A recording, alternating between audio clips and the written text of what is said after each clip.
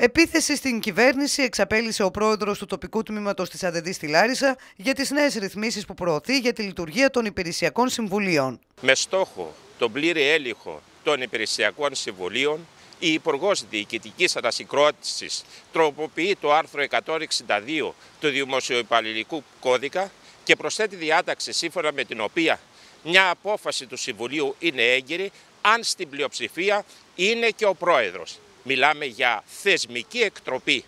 Η παραπάνω διάταξη, η διερρύθμιση οδηγεί στον ευτελισμό των υπηρεσιακών συμβουλίων καθώς και το ρόλο των εκπροσώπων στα υπηρεσιακά συμβούλια. Ο πρόεδρος του Νομαρχιακού Τμήματος της ΑΔΕΔΗ κάλεσε την κυβέρνηση να σταματήσει κάθε προσπάθεια περιορισμού των δικαιωμάτων και της ισοτιμίας των ερετών μελών των υπηρεσιακών συμβουλίων.